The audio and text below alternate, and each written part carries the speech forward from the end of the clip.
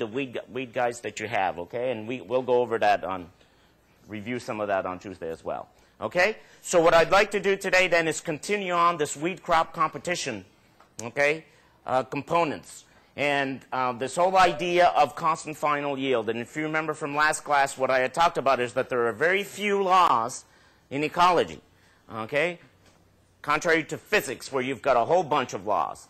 And this is one. And the whole idea behind, behind this relationship is that once you get past a given density, okay, your total yield of the system, the carrying capacity is reached, you're then going to flatten out. And remember I said, you know, one important agronomic implication of this is that we plant at ideal or what we think are optimum rates, seeding rates, to obtain maximum yield.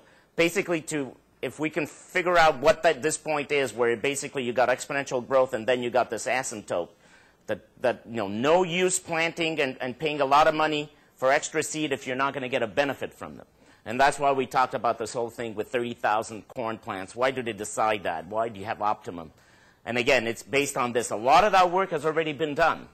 People didn't just, you know, come up with a number. They, they did the work. They looked at spacing, okay? And folks are still working with, with densities and so forth, depending on what the outcome is. If you're looking at silage, you might be, you know, wanting to alter the, the densities a little more. But generally, this is the case. Okay? And then the idea is, well, can we alter this if we add, you know, we add resources? For example, if we fertilize, could we push, change the general shape of that curve or that relationship? And the answer is no.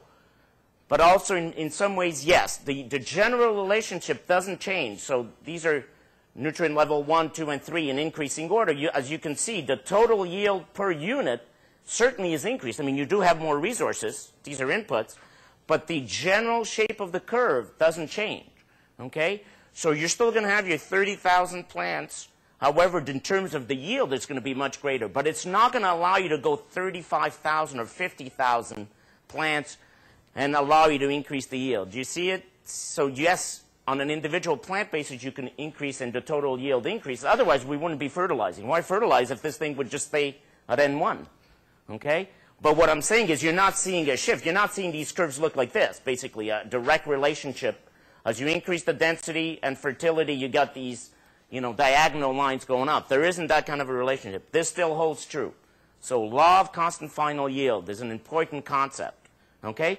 From a weed management perspective, what it's telling you is, and I think somebody in the group might have mentioned that, if you've got a crop and you've got weeds growing in there, remember, plants and weeds are very different from insects, from pathogens, because why? What's the main difference? And we, you know, we really hammered this in in IPM, but what's the main difference between when you're looking at pests that's, that's a weed relative to a pathogen or, or an insect?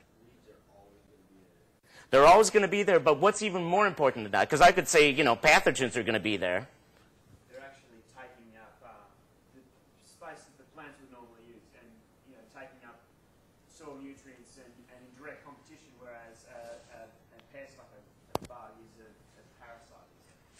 Exactly. Exactly. Remember, they're primary producers. They're competing for the same resources as your crop, your favorite, favorable species. Whereas insects or pathogens are usually going to be impacting, you know, they're not competing for nutrients directly. Indirectly, they will. So now you have direct competition, okay? So in terms of their impact, it's pretty severe.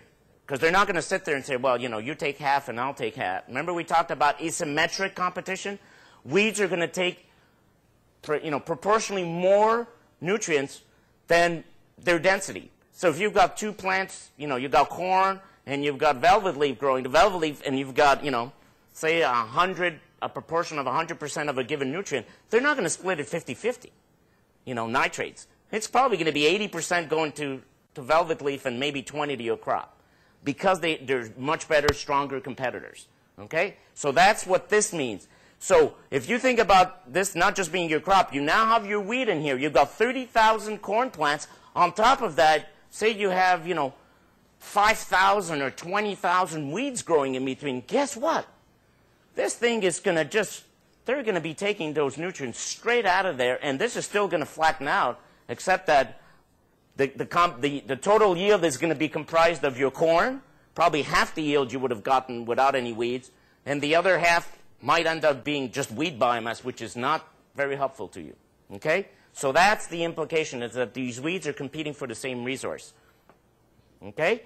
Remember we talked about, so how do you get this relationship? Okay, remember we, we went back. How do you get this relationship? What happens? How, how can you get more plants planted, but the total yield when you harvest them, if I have 30,000 plants, I harvest, I get this yield, and if I have 60,000, okay, I harvest them and I have the same yield. What happens on an individual plant basis? Or even, even if all of them were to actually germinate and emerge, you, you would harvest more plants, but all the plants would be smaller. Exactly. Okay? More, the same number of individuals, and that's assuming we don't have this self-thinning, this mortality that occurs, that's density dependent. I'll say a little more about that. But this is what this is showing. And you have that table. What it's looking at is in a very simple way, this is a pot experiment, but it, it's, it's realistic of what goes on in reality. This is the dry weight yield of redroot pigweed, Amaranthus retroflexus, a function of density. So here's the density, number of plants per pot, one plant, 5, 15, 25, 35, in a single pot. And what they did is they allowed the plants to grow. I forgot how long they did. They have four replicates. This is done. Um, I believe they allowed the plants to, to get at least two months they grew the plants. Okay? So, and then what they did is they harvested them, they dried, dried biomass, okay? And here's, here's the results. On a per pot basis, basically the one plant you had produced 6.2 grams of dry weight, okay? Five plants produced 6.9. 15 plants, 6.2. Do you notice that this, I mean, it goes up a little bit, but it's, it's, it's not like you're getting, oh, 35 plants and you're getting 85 grams. You're not. It's flattening off. Then when you kind of look at individuals, you weigh each individual, the 35 plants, you weigh each individual. Look what happens. Look at the weight. The one plant was 6.2 grams. It was there by itself. It took up all the nutrients it could. Okay? But when it was sharing it with five others, now the five plants, their average weight was uh, 1.38 grams. You notice exactly what Steve just said, is that on a per plant basis, each of the plants they're still there in many cases, but they're all small. They're generally smaller. Okay? That's why you get that flat. Now, if you're a grower, you don't want this. Okay? You want to be able to get that ideal weight, okay, that ideal biomass or density that gives you this maximum. Okay? So that's really what's happening. And if you would sow, you know, corn at 60,000 plants per acre, you would probably get the same yield that you get at 30,000, okay? That all your corn plants would be this high. If that's what you're looking for, that's the way to go. And that doesn't mean we can't move away from 30,000. You know, you can go 5,000 a little more. You can, you know, for silage, you can increase it a little more. But generally speaking, that law is, is consistent in, in agronomic, in natural areas. That is all based on carrying capacity. Do you all get that? So smaller, smaller plants. And I'll, and I'll say a little more. Okay?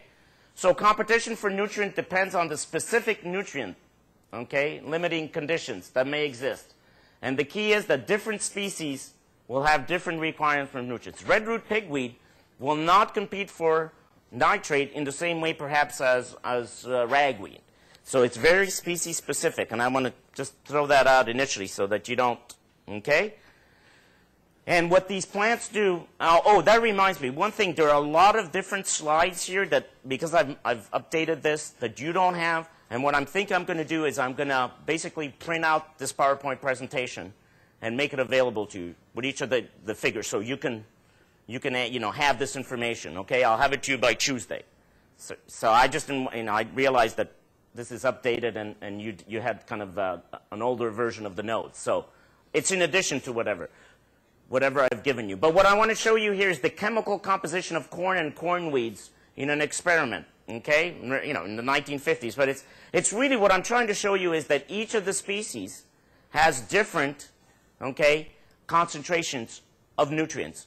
And usually their concentrations are directly related to their ability to take them up. So a species like pigweed that has high, and lamb's quarter, high relative to corn, nitrogen content in its leaves, in its biomass, that, that nitrogen is coming from somewhere. It's coming from the ground, it's coming from fertilization, okay?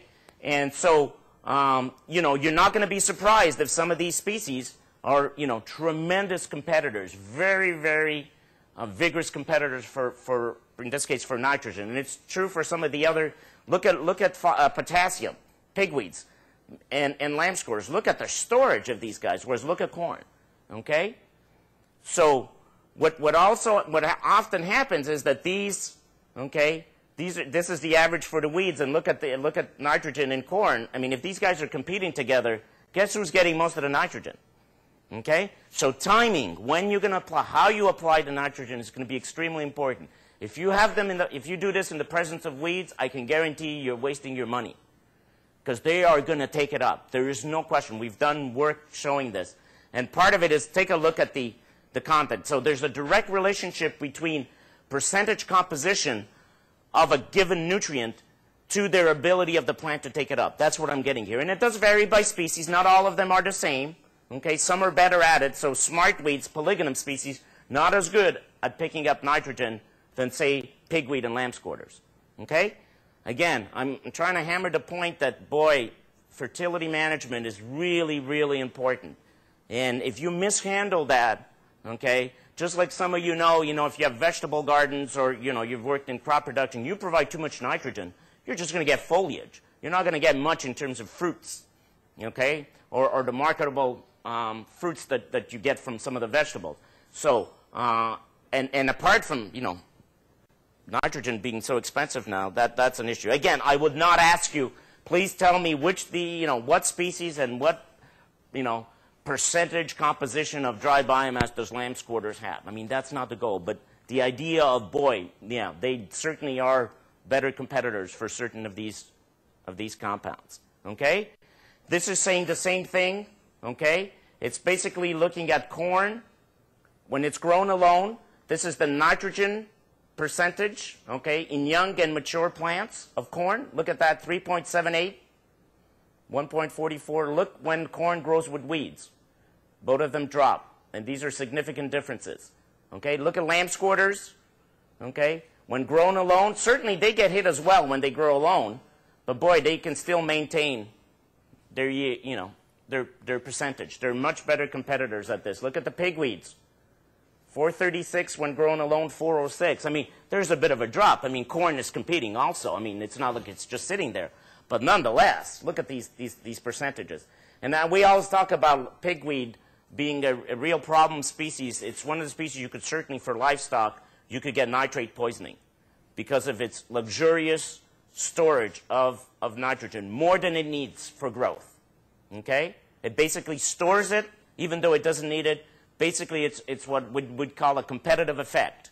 It's grabbing the resources so that it doesn't make it available to its competitor, which could be a corn plant or another weed, but doesn't need all of it. That's, it, it basically hoards it, which is really, you know, and of course, an animal consumes that. You got livestock eating those plants that are high nitrate, and we have seen nitrate poisonings. Talked to a few of the folks in animal science, and they've talked about that being a problem. Okay? Again, very, very similar to what I've shown before. The ability of these weeds to, to take up nutrients in, in large amounts, and even, even when competing with corn plants, they're by far more competitive. Okay? So, here's the question for you. You think, wow, man, you know, I want to increase my yields. Let's just fertilize. Let's just fertilize. You think that's going to be the solution? Oh, let's just pump the nutrients in there. Here's a, a, an, an experiment where they were looking at wheat that was grown with wild oats, Avena fatua, okay, at three levels of fertilization. This is, you know, field, field type experiment, okay. Wheat yield with pre-plant nitrogen, 0, 67, 134 kilograms per hectare, okay, of, okay, of nitrogen. And here are the densities. So when you, when you basically grow the wheat without any weeds, what we call weed-free, here's your yield, okay?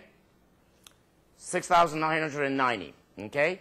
You keep, you fertilize, it's 7520, you fertilize, 7650, okay? There's your average. So certainly there is an increase. If you have no weeds, that N1, N2, N3, you're certainly increasing biomass. Now you start getting weeds in there, okay? So this is now dropping from 6990 to 6430. Okay, you say, well, I'm going to make it up by fertilizing. Okay? Here it goes. Okay? Basically just levels out. It has increased, but levels out. Going from 67 to 134, It's not doing much. You're wasting money. Okay? Uh, eight, or even let's go to the extreme 32 plants. Okay? Certainly 32 plants, and you don't fertilize at all, you get 5,400. So you say, oh man, let me fertilize so that I, you know, my wheat's going to take up the nutrients and increase the, the, especially with this high density. Look what happens. Okay? 41, 34, it keeps dropping. You're increasing, okay, doubling your fertilizer, and the yields keep decreasing. What's happening? Why am I getting this? I thought I was supposed to fertilize. I was supposed to increase. I want to see this go up to 558, 6,000. Why is it decreasing? What's happening? If I show you this on the prelim, in your own words, explain to me the, the trends, what's going on, and explain it in any of the principles you've learned in class, what would you say? It looks like the oats are better at getting the nitrogen than the wheat is. So when you add the nitrogen, the oats expand, expand and then they get even better at getting nitrogen. And So basically, it's telling you that wild oat is a much better competitor for nitrogen than your, than your wheat, in this case, at these levels. Okay? Now, the other interesting thing is take a look on average as you increase fertilization. Okay? First of all, let's look at this. Okay? As we increase density, here's the average. Okay? No. Okay? The average across all. You basically have a decrease which makes sense. Okay, on average, you're getting a decrease as you're increasing the density of oats. Makes sense. The, you know, they're, they're gonna.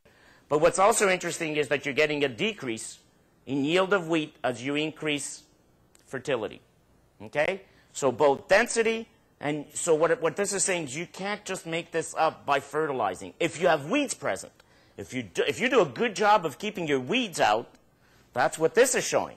Okay, no weeds, nice increase. Okay, that's why we have some growers say, hey, I, I need to have my field clean. I can't afford to have. And, you know, this is often true of our conventional growers. They say, no, I want to see no weed in there because I know that they can take up nutrients, they can put in seeds in the weed seed bank. Okay? Kyle, did you have a. I, I was just wishing in the study they'd done an oat yield, a wild oat yield, so you could watch. Yeah, it's, it would have been it would have been interesting. Uh, it, you basically, and I'll show you one way you could do this as how you can measure this kind of stuff with what's called a replacement series experiment, and you would see this. You would see the oat coming down, and guess who's going up? The wild oats. Okay, the wheat. Sorry, wheat and wild oats. So yeah, it would have been nice. They probably had the data, but they didn't. I didn't pull it out for this. Yes. You're talking about weeds that hoard nitrogen more than they need it. When, I mean, when you fertilize a crop, you harvest the crop and you're obviously taking a lot of the nitrogen with your, your forage or, or Right. your harvest. And so you need to fertilize again, but with weeds, when they get tilled under, does that nitrogen again get released back in the soil? And does that have a buildup? Is that gonna make like a domino effect for the Right. As a basically steroid to the rest of the weed bank or? Right. It's a good question. Uh, the nitrogen is definitely released if the plants are young. Uh, you typically see that. Uh, the the problem is that you will the plant the, the crop will take up some of that nitrogen that's going to be released, uh, but uh, often uh, by then, well, if you do it, there is a bit of a spike, but it's it's what it does also it stimulates germination of other wheat seeds in the seed bank uh, as you're, you're, you're, cultivating. Uh, but that may not be a bad thing if you're going to be controlling. So to answer your question, yeah, and some people actually use weeds as kind of for composting. If they haven't, if they don't have rhizomes, you know, for annual weeds, that's not a bad thing actually to till them under and they become, you know, nice organic matter. And there is a bit of a flush, but it's not that that high. So you know, somebody says, "Wow, I've got all this redroot pigweed. Can I just plow that under and get a nice flush of, of nitrogen?" You probably do. Um, but you know, a lot of it is still bound, and, and, and certainly if you get rains, it could be easily leached out. That's the problem with nitrogen, particularly if the if the crop isn't, you know, doesn't have enough of a root biomass to be able to pull it in. Okay, but to answer your question, yeah, and some people have actually advocated using, you know, weeds as a source of nitrogen in some cases, especially those that hoard it. Rob, did you have a question? Uh, maybe just seeking a confirmation in intercropping, then there can be these competitive factors as well. And and so while you're doing it for sustainability reasons or erosion or considerations like that, you could actually be hurting your crop. Absolutely, and we'll talk about that when I get into cultural control and we talk about intercropping. I will show you an index that you need to keep in mind. So not all intercrops are great. You need to really team up the right crops together because of this. You put in a, a crop that's an extreme, you know, competitor for nitrogen, um, you might have issues, and that's why you'll go with a legume and a grass. So you, you, you kind of have to team them up. You certainly don't want to put two intercrops, one that's an alternate host for a pathogen of the other crop. Uh, so, and we'll talk about it. You want crops that what we call niche differentiation. They each take, maybe take nutrients uh, at different times of the year, at different depths. So you, you need to know the biology of each of the crops. So, and, and I'll give you an example of, of a failed intercrop when I was doing some graduate work between, uh, I think it was uh, romaine lettuce and uh, peas, I think, romaine lettuce, peas, or, or bell peppers, and it was disastrous. Uh, I was looking at another grad student, helping him out, and they were looking at that, and then you realize, boy, this is not a good intercrop, just because the lettuce looked, with the peppers, they, it looked rough. It just, the peppers just took it, everything. So yeah, this is a good question, and so we'll talk about that, the implications of this. But that's that's an important question. Fertilization regime. The other thing is in intercrops, you could be you've got you may want to fertilize, but you might also have a legume in there, and you, of course you know that particularly nitrogen fertilization will inhibit nodulation. You know, and so for example, in sub-Saharan Africa, they, they they'll intercrop, let's say millet with uh, cowpea, which is a legume, and they need to be really careful about you know fertilization because if you, you, you provide too much nitrogen, you will basically stop the, the nodules. Uh, why should the plant that's got enough nitrogen, why should it fix atmospheric nitrogen? So, yeah, the, the, the teaming up, it's a science. There's no question about it, and, and we'll talk more about that. Okay? So this is just a, a summary. Yields decreased with N and weed density. So both, both, you know, with uh, nitrogen, okay, going this way, and with density. So, obviously, the worst case scenario, look at the lowest. Okay? You've spent all this money for fertilizer, and you've got major weeds. Okay? In some ways, you're better off not fertilizing. That's what it's in. You're better off not fertilizing. Does anybody know why you're better off not fertilizing? What do you get this? You still have 32 plants. Why do you get such a low relative to the fertilization of the wheat? How do you explain this? Same number of plants, same territory, you fertilize, and the wheat gets hammered. You don't fertilize, and I would say, man, don't fertilize. Well, because the wild oat is a better competitor for nitrogen, you're just, as you're adding more nitrogen, you're just increasing the vigor of the weed. Exactly. Okay? So that's why more is not always better. If you don't understand the dynamics, now you, you would hope that a grower wouldn't be in this situation, but sometimes I've seen, I've been with growers say, man, the weeds got away from me. I couldn't get in because it was wet. I couldn't get my equipment in. Uh, I put down a pre-emergent herbicide. It rained, washed the thing out, or it's been tried for two weeks. It doesn't work because a lot of the uh, pre-emergent herbicides need, need uh, moisture for activation, some rainfall, at least within the first 10 days. And so what happens is then, oh, I'm going to fertilize. I'm going to give the, the crop a boost. And they do this, and this is what happens. And I tell them, don't do it. Don't waste your money. You know, in some situations, they, it might be if anything, what I would do is, if anything, I would tell them to side dress. Go, go right next or band. Put it where the, the crop is going to get it. Don't put it where the weeds are going to get it. Okay? So, again, the term asymmetric. Nitrogen is asymmetrically favored. Mm, okay? So nitrogen, the weeds are taking it up much better than the crop is, in this case wheat. Okay? Weeds have a higher nutrient use efficiency. Okay? Nit- or in this case could be also nitrogen use efficient than the crop. It's not always true, but in most cases weeds have been selected for this. Okay? So, very, very important to keep that in mind. Okay, some of you might ask the question, does it matter what type of nitrogen I get?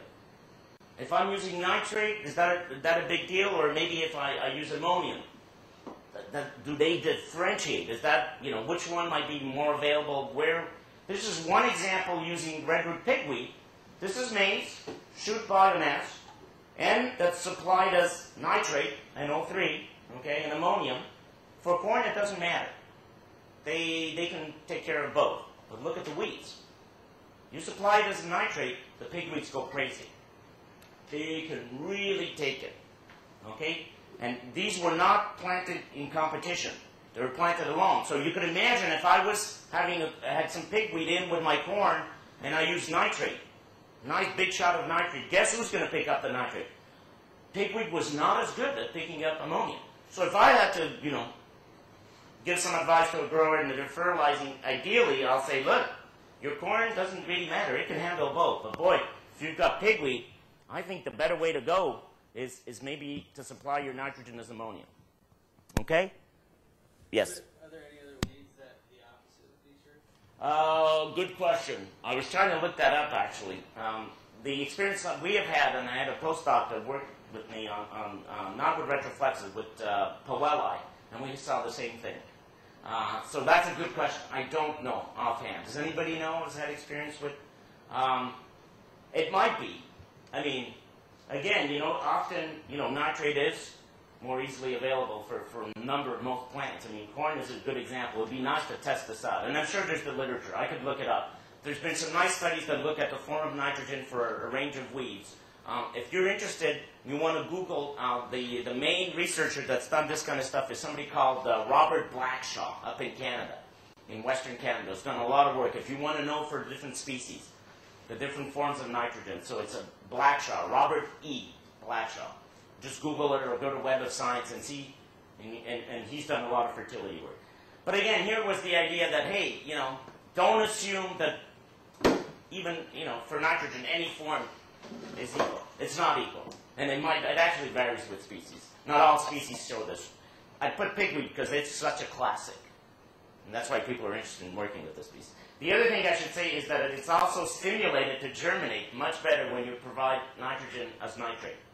And we've done some studies here at Caldwell where uh, you saw Stephanie's project. We had a three-year study where we did that. And we actually supplied different at different times. We did split applications, you know, thinking why should we provide it all at once? Maybe we'll we'll stagger split applications, and we saw you know some dramatic differences as well.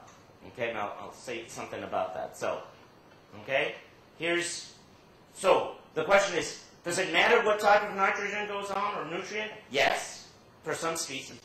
Does it matter when it goes on, i.e. at the beginning, at the end of the season? Should we split the applications?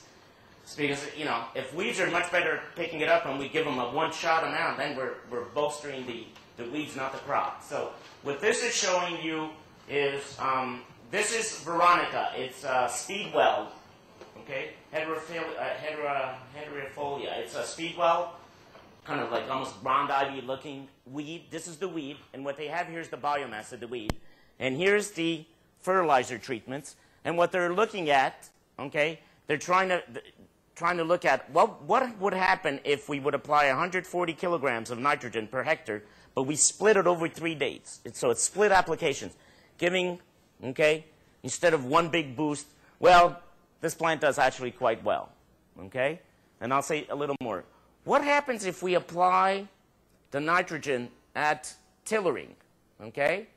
And here's tillering. Nah, that's not, not that good too. Even 60 kilograms of tillering, you, uh, the, you know, the taller the bars, this is the worst is your weed situation. Remember, that's a weed. We're not growing it as a crop here. So what, what we're saying is that this kind of nutrient regime or timing increase or decrease the biomass of this weed. Of course, we want to see that decrease. Okay? Where we see a decrease is 60 kilograms applied at stem elongation. Okay? And I forgot, I'm trying to remember if that, what crop we were growing here. Oh, jeez. I'm trying to think if it was wheat. It might have been wheat. Okay? So they applied it at, at tillering. Not, that doesn't matter. But at stem elongation, that worked. And where they applied no nitrogen, which is not really a good thing to do. Okay? You'd still need some nitrogen. Okay? The, uh, that's where we had the lowest impact, okay, or at least the best results in terms of weed control, okay? Again, what I'm trying to get at here is not necessarily specifically what's happening here. For example, I'll give you one where we didn't, we saw the opposite. For when we did our work with, with Powell Amaranth, if we split our applications over the season, a little bit, you know, half of it at the beginning, then, you know, mid-season to to the uh, Powelli or to the, to the weed, that's when the crop did the best. If we applied it in one shot nitrate at the beginning of the season, or even if we kind of side dressed, the weeds did a lot better. So splitting it up kind of gives a chance to the crop. It doesn't give this major boost to the weeds, but it allows the crop hopefully to get some of that. Okay? So very often, split applications are much better than, you know, from a weeds perspective, from a management perspective, it's a pain in the butt. Because you, you don't want to, you've got 10,000 other things to do that you have to go and, you know, already, you know, side dressing is, you have to get there, you know, in June and have to do it. But from a weeds perspective, that's the way to go. Okay? So delaying and reduced wheat growth, but did not reduce wheat yield. So it wasn't wheat. Okay? So delaying it. The more you delayed it, which is, you know, N3 here, stem elongation. So tillering just means, you know, the wheat when you're getting the little shoots off the bottom. But when these were elongated, which is a little later in the season, um, that really dropped the weeds down. Okay? But it helped your wheat at that time. The, this weed was not that competitive later on. Early on, you would have stimulated it. Okay? So you really need to see what species you're dealing with. Okay?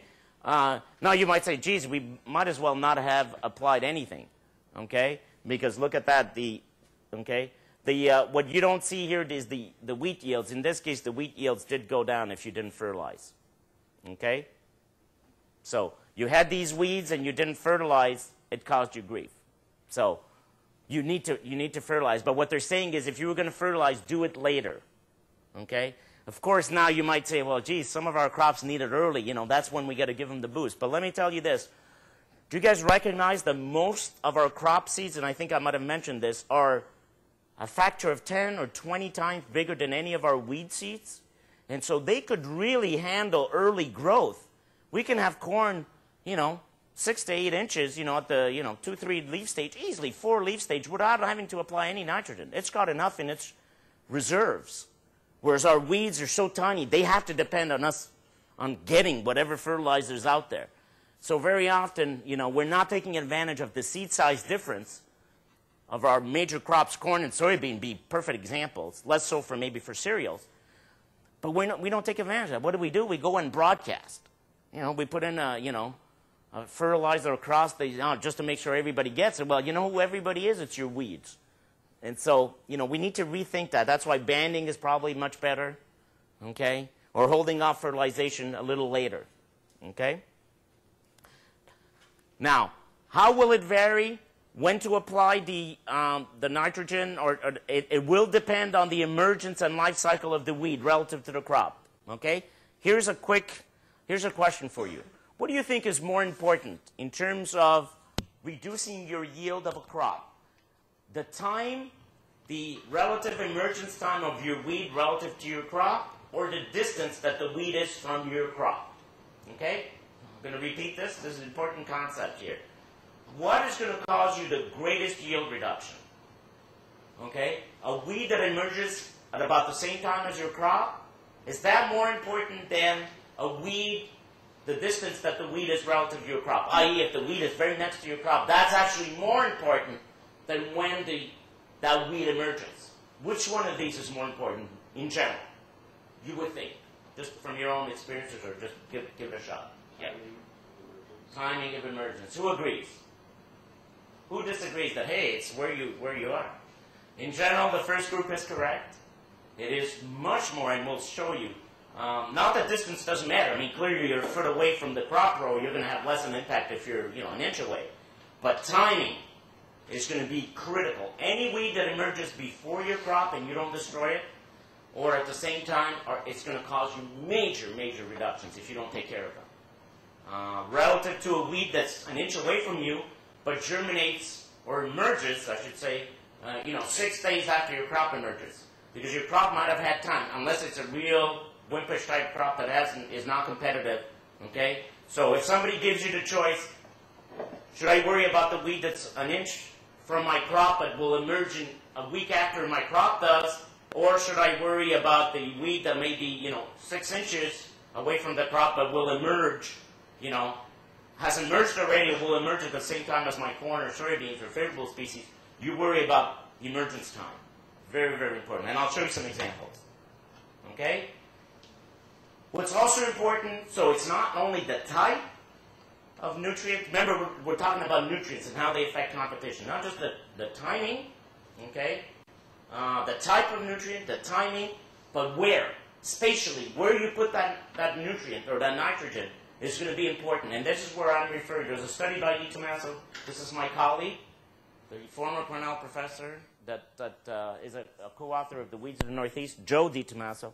He published this really neat paper in Weed Science in 95 looking to see if anybody's interested in fertilization and how we could use strategies of fertilization to, to, to increase crop production, but you could apply it to many systems. So Rob, maybe in turf, he, he wrote some nice work showing, you know, timing is important, but also how you apply the, the product. Where do you apply it? And they basically, in, in, in reviewing many studies, okay, if you put, you ban the fertilizer, usually, you know, 15, 15 inch swath, much better than broadcast. No question about it. In fact, you're putting it where the crop needs it. And what you have to do is take advantage, okay, of the depth of the crop seed. Usually, in some many cases, the crop seed could be deeper than most of our weed seeds. So put the fertilizer out of the zone of where your weeds are going to be. Okay? A little deeper. Okay? We do this. We take advantage of this sowing depth. Most of our weeds are tiny seeds, remember, and they're going to germinate. They're within the first half inch, inch, usually, okay? Our crops, most of our bigger seeded crops, can, the beans, soybeans, and corn can go deep. Okay? We take advantage of that for herbicides as well. We have a herbicide called pendimethalin, pendulum, or prowl, that can actually be a little problematic for corn. How do we take care of it? It's a great herbicide. We plant the corn at two-inch depth so that it's out of the zone as much as possible of, of the pendimethalin. And you'll see this, we'll talk about this in class, you know, when we cover herbicides. But we're taking advantage of planting depth to make sure that the, you know, the herbicide doesn't hurt our crop. Well, what I'm saying here is if you could put the, take advantage of the different differential depth of our wheat seeds, which are within the first half inch, inch, and usually our crops are a little deeper, put the fertilizer deeper so that the crop takes it the, and not the weeds. And that, you know, again, you could take advantage of that. Of course, that's going to depend on soil fertility. If you, you're in a site that's very fertile to start with, and it's, you know, that the weed seeds are within your first inch, they're going to go after those nutrients. I mean, that's just, you know. But if you can manage this, this, this would be one way to take advantage. So the type of nutrient that you're applying, when you apply it, and spatially where you apply it are all going to be important. And it's all things you need to think about. If you want to kind of better manage weeds, or, and, and again, depending on your system, you should all be thinking about that. Okay? So Weeds can, be, so kind of a summary for nitrogen then. Weeds can reduce yields by limiting nutrient acquisition by the crop. Okay? If that's, these are the take-home messages. Weeds often have greater response to nutrients, so increasing fertilizer rates does not help in many cases. Don't try to solve the problem by just, oh, I'm going to overcompensate. Doesn't work. It's worse. Not only are you leaching nutrients, contaminating the water table, you're spending money, throwing money out the window. Okay? Now, if you don't have any weeds, that's a good sign. That's, then, you know, you, it's work. And again, timing, form, and placement, very, very important. And, and, and in some cases, I can't give you specific because it's very species specific in some cases. But that information is available. You should be thinking about your own system. Geez, I'm growing corn, I've got ragweed, common ragweed. Geez, let me learn a little more about ragweed in terms of its nutrients up, nutrient uptake and stuff. And that will help you better manage the plant. You know, when do I put the compost? A lot of our organic farmers, that's they have to do this. But They don't have herbicides. They, they can cultivate, but often they're trying, am I going to be putting on too much? If I'm putting compost, am I going to get a flush? Usually when we apply inorganic fertilizer, we get this major pulse, okay, of nutrients to the crop and weeds. If you use, you know, composts generally or green manures, not that you don't get pulses, but the release is gradual. So it's in spurts. And that is much more favorable to keeping weeds at bay and providing some of the nutrients to your crop than this inorganic fertilizer that's not slow. So if you get inorganic slow releasing fertilizer, that's where I, what I would favor. From a weed perspective, again, the grower's got to think of many other things than just the, the weeds, but from the weed perspective, I'd rather see a slow release type fertilizer if you're using an organic. Otherwise, if you're using organic compost, green manures, okay, they tend to, to slowly release nutrients. So that's, that's an important concept. Okay? So a couple of things about um, the nature of competition. I think all of you pretty well know what intraspecific competition is. Okay? Competition between individuals, same species. So you can have intraspecific competition.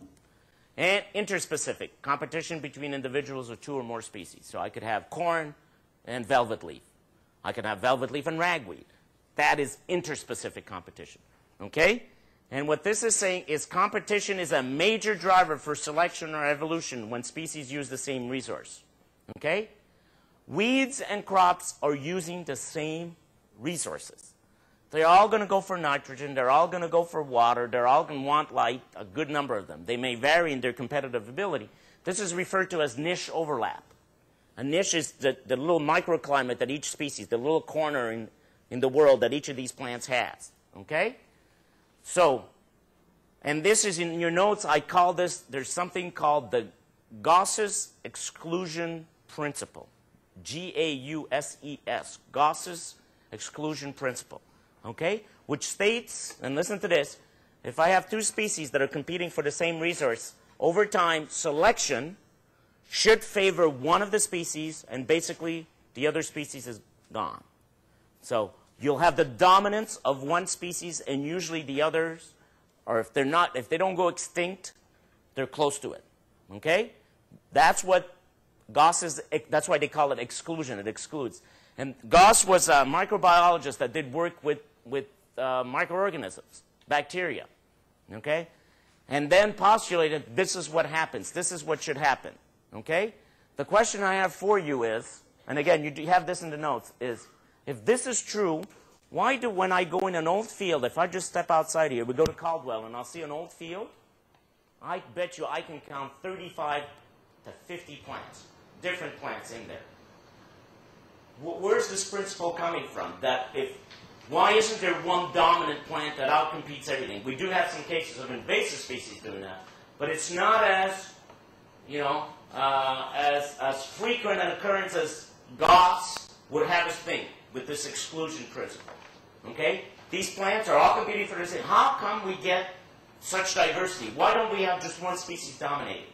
Because each plant is uh, better suited to take up maybe a certain nutrient or dominate a certain area or have a certain component effect, but not in all areas.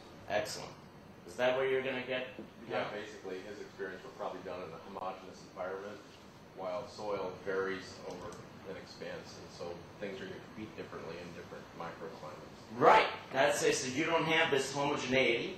You also so you can you can think of this as being both temporal and spatial. Temporal being I could have a plant that uh, does a good job of getting nutrients early in the season. I have another one that's much better mid-season, later in the season. So they're they're separating out. Their niches are different temporally, timely. We could have them spatially. We have and we have this. We have some plants that the root mass is right at the surface. They do really well at capturing water and nutrients. Okay, in shallow shallow depths. We have others that have deep roots can go.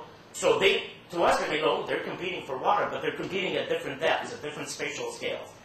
So that is, and then uh, in fact in the notes I mentioned this. Um, uh, what are I? Uh, competitive equivalence. I don't know how I phrased it, but by Lonnie Aarssen. Aarssen was my, he's a plant ecology, he was my major professor when I did my master's degree up at in Queens, Queens University in Kingston, Ontario, right across from the lake. Uh, and uh, he proposed in a classic paper in American Naturalist in, in 1989, I think, um, this, this, this idea that the reason we don't have just one species dominating in many habitats, which you, you would have thought would be the case if this you know, niche overlap and these guys competing for the same resource, is that, just as you mentioned, not all species are equivalent. One might have large leaves and be good at capturing light. Another might have a large root mass and be able to get nutrients. So it's equivalent bound. When you add up all the attributes, okay, it, it, at the end of the day, it evens out. Just like, for example, in this class, some of you are really good at memorization. Okay, you're going to be good at getting, you're probably going to get a top grade in the weed ID part. But if you have to do a written project, perhaps where you, you know you need to, to bring things together, synthesize, synthesize, synthesize, man, I can't even pronounce it. Um, to, to, to bring it all together and to integrate, you might not be as good at doing that. Okay? And so at the end of the day, you both might get, you know, the two students might get an A in the course, but one has by far did much better in, in the memorization, in remembering things, and the other is much better, needs quiet time to integrate, just, you know, needs to think it through. And of course, then you have those that are really good at both, competitive effect, competitive response, and they're really dominant. And that's what we see in some invasive species. But it's not across the uh, all flora, okay? So that's, just be aware of that, kind of the, the underpinnings of this. And there's that definition of competitive effect and response. So I'm kind of jumping around a bit, but uh, just wanted to, to be sure that you. So if on the prelim I ask you to differentiate this and you know tell me in your own words what it means, I hope you can. Okay. Um, you have this in your notes. This is just basically showing what are some of these key attributes and, and that allow a plant to be competitive. And no one single plant is good at all of these. Okay? Uh, some are really good, have rapid seedling growth. Now, the ideal weed and maybe some of our invasives have a lot of these characteristics. That's why it makes them so problematic. Okay? So, you know, they synchronize germination, they come up, up together, they're very rapid seedling growth. Okay? Uh, they, they tolerate and uh, shading, rapid response to nutrients. You put the nutrients, they're really fast growing. Okay? Rapid vertical growth. These are all key characteristics. Okay? And again, just be aware of them. And, you know, if I were to tell you, you know, if you had to, to, to create the ideal weed, what would be some of the, the attributes or, or traits that you would like to breed into these plants? Think of some of these characteristics. Think about, you know, what you've learned in terms of what would make a good competitor. And maybe think about some of our invasive species. What is it about these plants that are so good? Man, they reproduce vegetatively. They produce tons of seeds. They can tolerate harsh conditions that no other plants can. All of those come into play, and that's what this is referring to. Okay? So, this is getting back to timing of emergence. Very important concept. That's when, I, you know, when we say timing is everything, and I don't know if it's going to be next week or the week after, I'll show you a video for those of you into machinery. Okay? It's uh, machinery for vegetable growers, the different types of machinery. And the one thing that many of these growers, so it's, it's basically testimonials of, each, of many, a number of growers in the Northeast that grow vegetables uh, as to, you know, how important their tillage machinery is. So you get to see some of this machinery if you're not familiar with it. But the dominant thing they're going to talk about is timing is everything. Timing timing, you know, your cultivation, timing your herbicide relative to the emergence of your crop and your weed, okay? So this is very, very important, okay? Earlier emergent plants are much more competitive because they are, as you know, they're quick at obtaining nutrients. Now, you could, you could knock them off before you plant. Remember that stale seed bed type thing where you stimulate germination? Let them, let them come and then clean them out, then put your crop. But if they emerge at the same time, you're going to be in trouble, okay? So Here's a simple experiment, okay? A diagrammatic experiment that shows this, and I think you should have that little diagram, okay? What they did here is they had a number um, of plants, okay? Uh, I believe it was the same species, but they had seeds in different positions, okay? And they basically, these seeds germinated and emerged at different times, okay, in a given area.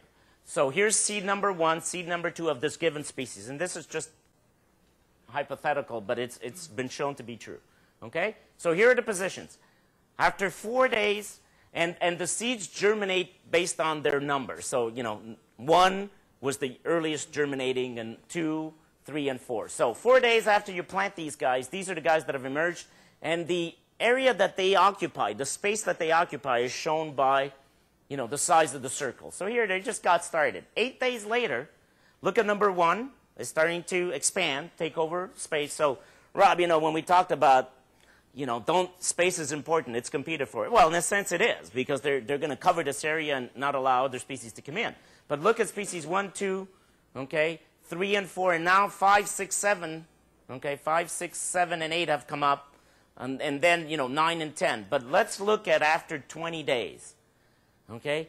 Does it matter when you came up? Yeah, it matters. Look at the area that they dominate. Seed number one, the first one that emerged, look at the size of its polygon or area of influence. Here's number two. Here's number three, four, five. Look at the late germinating or late emerging species, okay? Or individuals, I should say, it's same species. Number 10, look at the area of influence. Number two is already dominated. It's already taken over. And you see this. You see one or two big weeds, and then you see these little guys, same species, maybe trying to get, you know, poke their heads out. This is showing you and, and basically telling you that the emergence timing is critical. Many of you already know that, and growers know that. Oh man, if it emerges at the same time, I'm in trouble. Okay? That's why we say that, hey, don't worry as much if you have something emerging, you know, a weed two weeks after your crop is up. I'm not saying don't worry about it completely. Depending on the competitiveness of your crop and the weed, it may not be such an issue. Okay? Because the crop is dominating, it's going to cover it up. The weeds will be there. They're not necessarily going to die, but they're going to be at this size. And many may not even make it to, to flowering and producing seed, although some do. Okay? So emergence, the timing, is more important than exactly where you are. Okay? Those that get there first are going to dominate. Simple.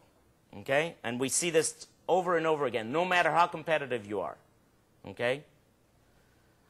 To highlight this, I just want to show you, okay, some work that was done with lamb's quarters on yield of sugar beets. Okay? And here's the density of the weeds, okay, of the lamb's quarters. Here's the em- emergence. Weed emergence days after the crop, the sugar beets came out. Okay?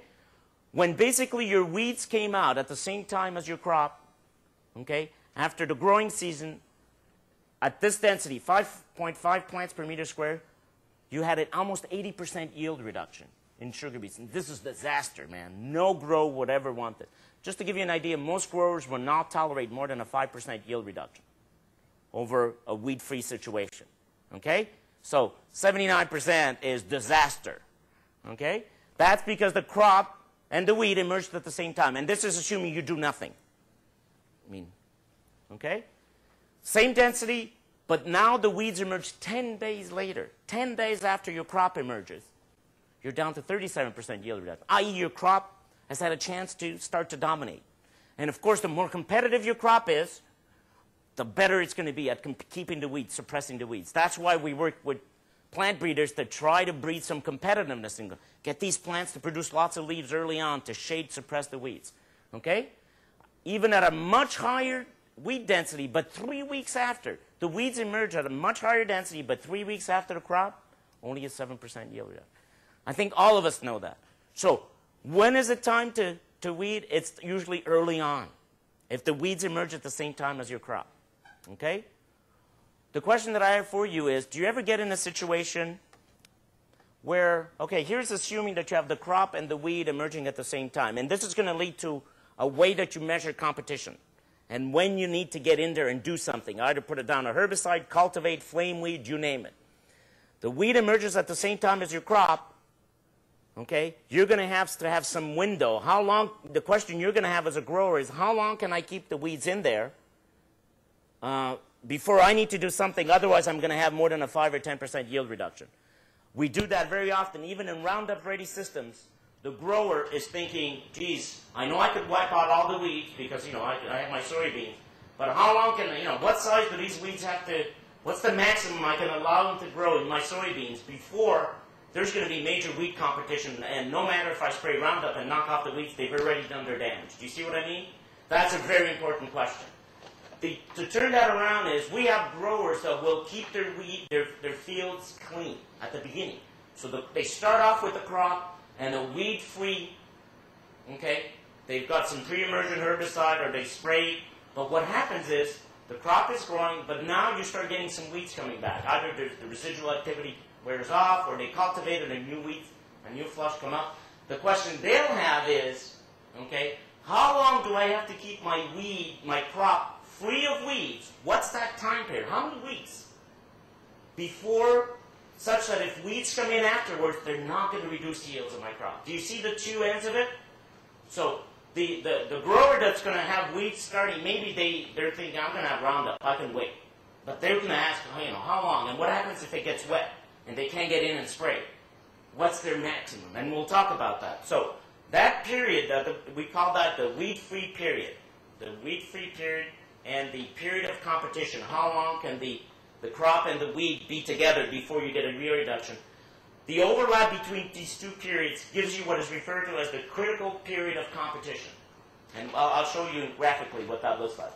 That is the window, usually in weeks or size of the crop, you know, that between the 8 leaf stage and 15 leaf stage, when you, the grower, must get in there and do whatever, you know, control method, if you're an organic grower, obviously you're not going to use herbicides, but maybe you need to go into flame weed, you need to, to cultivate, or if you're using herbicides, that's the time to do it. Okay? And it's going to be based on this. Okay? So, and I'll, I'll get there in a second. I just have, I've sown the seed now. Now you guys are going to be thinking about it. So, what happens when we increase the density, okay, of a given area? We've got a crop and a weed, or we got, you know, monoculture of, and we talked about this, we got a monoculture of a weed. What, what will happen? What what are a couple of things that are going to happen when, and these are what we call density dependent factors in, in plant, plant growth or plant population. I've got 100 plants, okay, remember we started talking about that? What are two things that can happen as I increase my density? I go from 5 plants per flat to 50 to 100. What are a couple of things I'm going to see that are density dependent? I'm going to see death. Remember we talked about self-thinning? There's this rule that things will die out and a few large ones will make it to reproduction.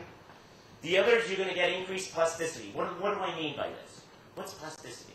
Um, population will be able to respond to you know, changing environmental conditions. Okay, and what, what could be one of these changes? That's, So let's say there's a population of 100 plants and there's a drought, and because there's more more genetic diversity, there, maybe 25 are really not going to do well in drought, and 75 are still going to be to right.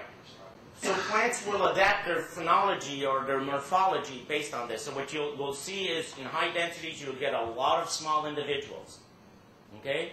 Just like we saw with that lamb's quarter pot experiment, you know. You put five plants per pot, yeah, the biomass stays the same, but they're all little individuals. So they're changing their, you know, morphology from being, and velvet leaf is a good example. I've always given you this example. Velvet leaf is a great competitor for light. But in soybeans, it'll just be four or five feet tall, just above the crop canopy. In corn, it'll be 12 feet, just over it. That is plasticity. In height, height is the parameter that's changing here. Okay? That happens, and, and, and this happens for, so you all see maple trees that are growing in your front yard by themselves. What is it? One plant? Huge, right? What happens when you go in a forest, in a woodlot, and you've got many of the maples together? Don't you get them being thin, which is nice for wood, but you get these almost like spilt-like plants because they're competing. That is plasticity. And some of them might, and I'm saying that some of them might die off, might die off, might die off due to uh, self-thinning. This rule. Okay, Steve, did you have a question? My question was, uh, whether, when, when you say you see increased plasticity, I wasn't sure if that was just something you see as an overall, because the chances provide more, but the individual plants are actually able to grow differently. Right, there is, there is that, and so, the right, and then also the response, they're plastic in responding to death. Remember the, the uh, petunia, you know, example I give you that you're growing 100 plants, and if I go six weeks after, I'm down to 50 plants. Uh, they were all small. The small, some of the small guys have died, but there's the, the survivors are getting bigger and bigger. Okay, that also happens. The survivors go by the way as, as the plants die. The survivors take up more of the nutrients that are made available, and they become. And so there's the skewness, asymmetric distribution. You have relatively few individuals that are big, and a lot of little guys. Okay? Think about the U.S. We've got how many billionaires? Relatively few, but man, you look at what their combined income is and get all the rest of us, except for some of you I know are very wealthy. You've got we're all down here, and we don't, we make up maybe you know 10% of what some of those you know Buffetts and, and Gates are able to bring in. Okay, I'm just saying that there's that kind of asymmetric distribution, and then you know kind of the middle class is on the way down. Okay, that's the same with this, and it's due to to, to plasticity. So with increasing density, do you get increased plasticity of a population or increased plasticity of individuals? That's- You you get you get both. Okay, the plasticity of the population is is uh, reflected in mortality. Okay, and and I'll finish with that. I'm going to show you the self-thinning rule so that you all you all see it. Okay, so. And I'm going to summarize, and I have it on, overhead, so I, I'm going to put up the overheads and, and finish off with the presentation. But what I'm saying here is, remember this law of constant final yield is represented by a larger number of small plants. So you increase the density, your total biomass stays the same, but the individuals are getting small. So as the population is, individuals are dying, okay, you, do, you have a lot, not everybody's large, because there aren't enough resources, okay? Yield can be represented different plant parts, okay? So different plant parts. So in some cases, what I want to tell you is that if you're looking at grain yield, you may not get this nice relationship. In, in actual fact, as we increase the density, our grain yield doesn't do this. It actually slopes down as we increase the density. There's, you know, that, the reproductive part gets really hit hard by, by density, okay? Or if carrots, you know, the, the, the, the tap roots that are the marketable component. I'll show you in the overhead. Usually this is for biomass, but you will see different components, different plant parts do not follow this precisely. In, in many cases, it actually dips and decreases. So it's even more to your disadvantage not to increase your densities. And yield can be, and that's the key. Yield can be shared unequally. That's what it's referred to as asymmetric competition. It's not equal sharing. Somebody's going to get more than the other, and usually it's the weeds. Okay? And this is usually the kind of relationship we see. As you increase weed density, crop yield. Okay? So, at low levels of weeds, okay, you know, it, it's, you get a quick decline. I mean, you really get this thing. You might say, well, geez, it's still up here. But boy, even like one or two plants. And then what happens? You get to a certain density, it doesn't matter anymore. The crop is hammered. You're down to 10% yield. Okay? So don't assume, oh, if I just, and I'll show you an example. We could have, I know one of the studies, we can have one velvet leaf plant per three foot row of corn, or even, I think it's actually soybeans, and they can reduce yield 40%. If you allow that plant to stay in, apart from all the seeds that are going into the seed bank, just one plant per three foot row of, of, of soybean can cause in the immediate plants next door, you know, and if you have it throughout the field, okay, these were some trials, different densities, you get a 40% yield reduction. So this thing, for, depending on the species and the crop, can really, this exponential drop. Okay, inverse in this case, not a good thing. Okay, and there, here's some examples. Okay, I think you have a chart like this. And again, I won't ask you for the specifics. Okay, but look at soybean. This is wild mustard, one foot row. Okay, uh, one plant per foot row, 30% yield reduction. Okay, two plants, 26. Four plants, 42. This is season long. Season long. You leave them there. Okay, so. Uh, and you could do it, and a number of people have done this for, for other species, okay, in soybean, wheat. Some crops are much more competitive than others. I mean, that's the thing. You have weeds, that, some weeds are more competitive than other weeds. Same for crops. We have some crops that are wimps, you know, onions, carrots, these slow germinating species, you really need to have a large window. So here's the, here's the take home here. If you have things like onions and carrots, you know what the weed-free period is for many of them? How long do you have to keep that field, that onion field, clean of weeds, such that you're not going to get at least a 5% yield reduction, is way more than you would get for soybean or corn. Way more. In some cases, 12 weeks, 15 weeks.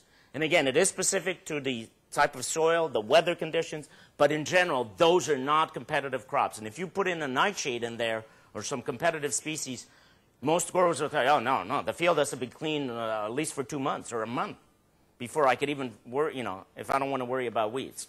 Okay? And so this gives you, and again, I'll give you a, a printout of this, but this gives you an idea of, of what we call weed thresholds is where are we going to get mo- uh, uh, at least a, what we call a weed threshold for most growers is at least a 5-10% yield reduction. Okay? So what this is saying is in cereals, and this is generally speaking, okay? Uh, this, in this case, is actually the economic threshold. What the economic threshold is, does anybody know? Just what's the economic threshold? It depends on what your market is. In commodity, it's like 5%. Okay, but, but what's the definition? How am I going to define a threshold? The, the cost of control equals the uh, amount of loss that you would incur. Right. So it's where basically the cost of control, how much my herbicide, my custom applicator, what I need to pay to control that, how, you know, does that equal the increase in yield, you know, that I'm going to get from, from doing it? Otherwise, if I'm losing money, I don't do it. But it's that equal cost. So at what level, what in cereals, and again, it's, I'd, I'd want more information here, and I just put that together to give you an idea of relative competitiveness, not necessarily this is exactly in my farm that I'm growing, you know, wheat, broadleaf weeds, I need 40 to 50 barnyard grass to, to make it worthwhile. I'm, I'm, this is not, this is just showing you in terms of competitiveness, okay? But this is what I, the, the, tre- economic threshold is, is basically how many plants can I tolerate in there and, and you know, and be able to, to, to carry out a, a, a, control method. But what it's showing is that some, some weeds are more competitive. So for example, in corn, uh, grass weeds, okay, broadleaf weeds can be, can be a problem. You just need five, okay, per meter square, and, and that could cause you at least a 5 or 10% yield reduction. You can tolerate grass weeds a little more. Corn can't, can, I should say. And look at in soybean, broadleaf weeds. Soybean is not very good at competing with broadleaf weeds. That's why the velvet leaves and nightshades are a real problem in this crop. Okay? But then again, and again, this is showing you for other crops. Look at tomatoes. Zero to five. Tomatoes are not very good at competing. That, again, relative.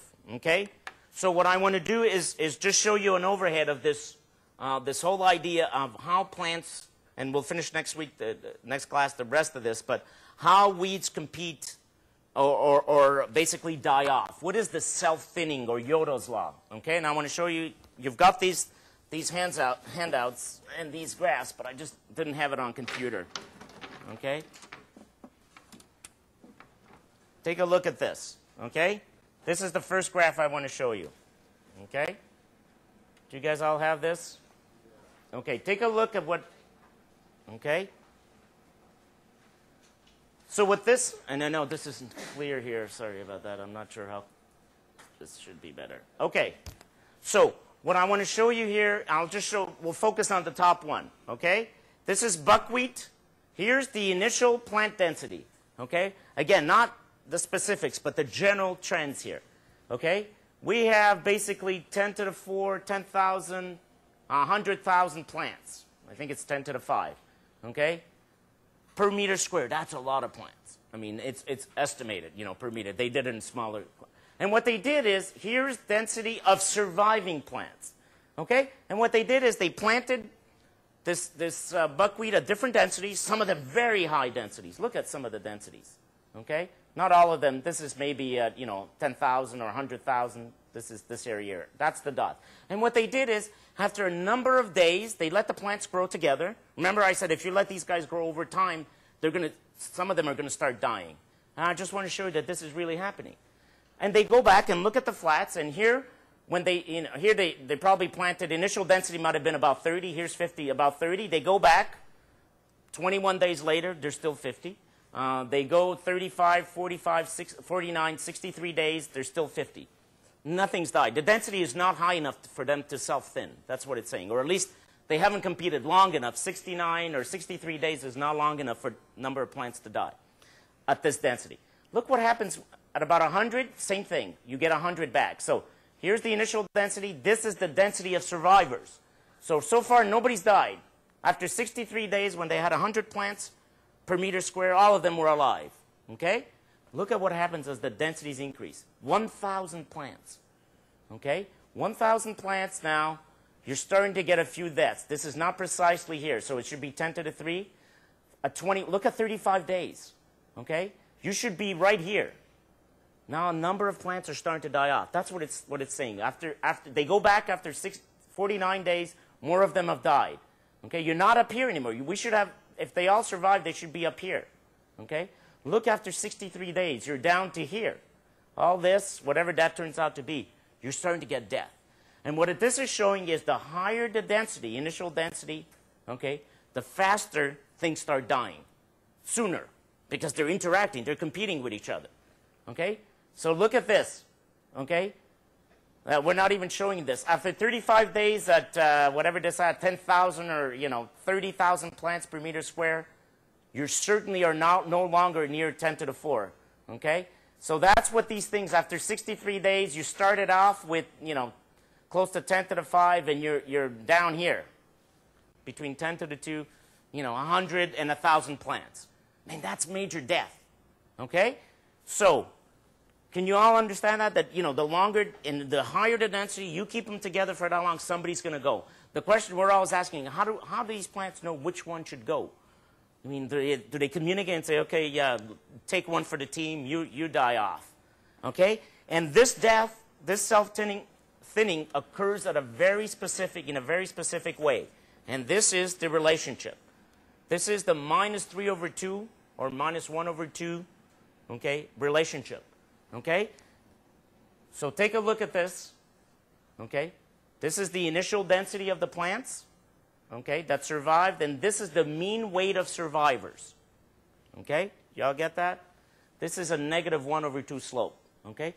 Think of it this way, okay? 5 to the 3, okay, that's 5,000 plants, okay? What happens is 5,000 plants are growing together. The longer they stay together, there will be competition. Some of them are going to die, okay? So they get to this biomass. So the question is, how do they know when they're going to die? Well, they follow this vertical line. What happens is these 5,000 plants all go for resources. They grow to a certain height, okay? They, re they reach this line. This is a cutoff line. They cannot go beyond this line. What has to happen is, though, out of those 5,000, some plants have to die. Okay? And that's what happens. Some plants will die.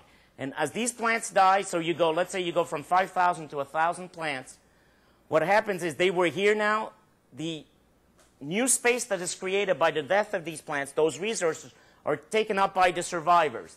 That's why the mean weight of the survivors increases. Okay? So you've got 1,000 plants, the, they reach, they take as many resources, they reach this line again. What happens? They start dying if, if you allow the experiment to go on. So let's say now they're down, you know, 900 die, and you're down to, to 100. Okay, the 100 are here. They will take up the resources, whatever's left of the ones that have died, to keep increasing. So the mean weight of survivors, remember I told you at the end of the day, what happens? You have a few individuals that are big, that can produce seeds and carry the, the species to the next generation. All plants, a lot of plants, shrubs, trees follow this self-thinning rule.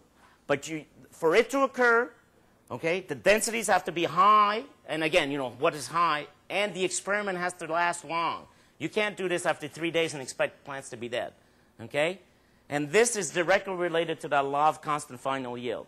Okay? By the end of the day, you might have, uh, you start out with 5,000 plants. This is for ragweed. These are actual data points. This is not made up. You started with 5,000 plants. At the end of the day, you have only 10 left, but their mean weight is substantial. In fact, all 10 produced seed and went on. Had none of them died, and there had been 5,000 plants, they would have all been this size. None of them would have produced seeds, which means that that species would become extinct in no time because these are annuals. Do you get the idea? So, law of constant final yield is very much related to this. It's basically, we're in this room. Look, we can't, there's not enough resources for all 25 of us. And basically, you know, some of us are going to leave this room. And the space that's left, my time commitment to the 25 has been reduced to 10. I focus on the 10. After that, it's still not enough. Two more leave. I focus, basically, when I get to one or two of you individuals, basically you're getting a one-on-one -on -one with me. Okay? The, the idea being that you're going to get the most. You're going to graduate. You're going to get a good grade because I'm there. The I have the resources to, to give to you. Okay? The question is, how do we decide who leaves? And that's what we don't understand yet. Is it because just genetically these are pre-programmed?